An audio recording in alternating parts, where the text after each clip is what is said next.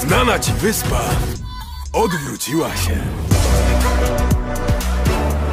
Witaj w rozdziale trzecim, gdzie znajdziesz zupełnie nowe miejsca do odkrycia i nieznane wcześniej sposoby doświadczania Fortnite.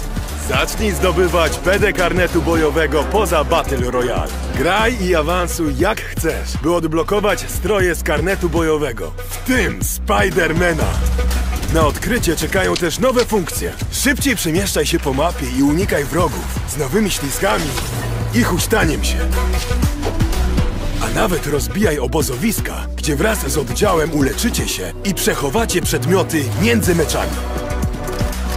Ponadto do Fortnite trafiły nowe bronie i przedmioty, które pomogą ci zdobyć królewskie zwycięstwo i prestiżową koronę zwycięzcy.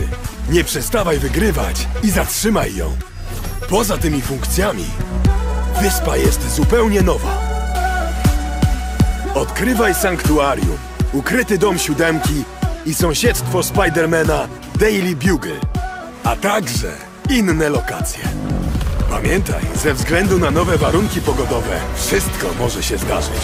Sprawdź też karnet bojowy sezonu pierwszego rozdziału trzeciego, w którym znajdziesz Spidermana, Fundament i innych nowych przybyszów.